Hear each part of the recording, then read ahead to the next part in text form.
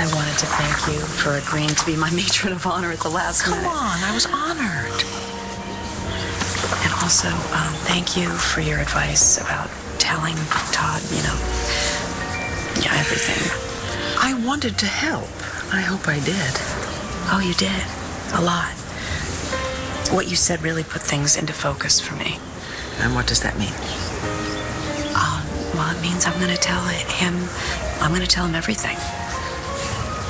I just, um, I'm going to tell him after our wedding night. I just want to have that one night of peace, you know? Don't wait too long. Attention. Can I have everyone's attention, please? Uh, it was all really nice and all that that you came, but party's over. You gotta go. All right? I made an honest woman out of this woman.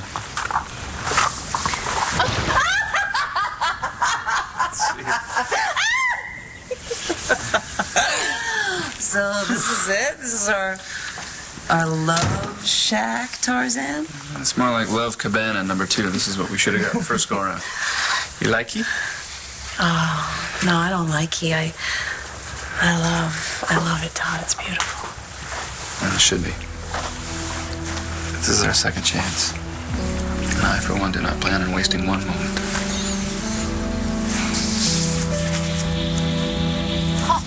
Yes, sir. It's gonna be different this time.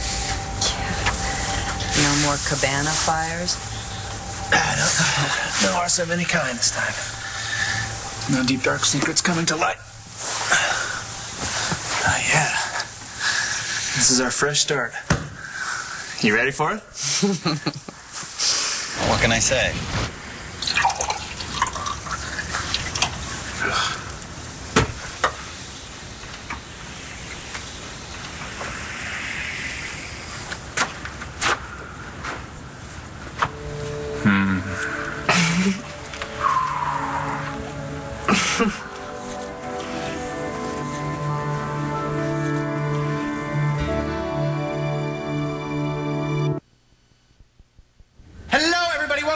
Ultraviolet. How are you doing this evening?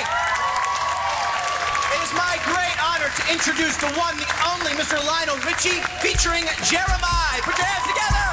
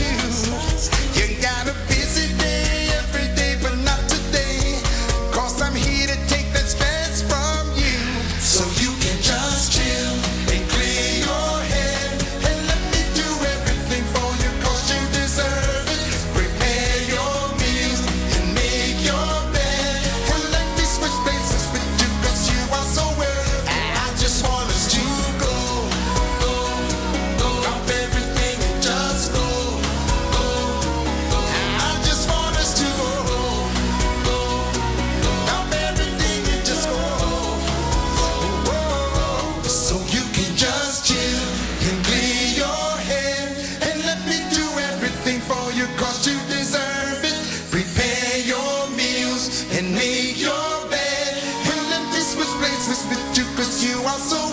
I just want to.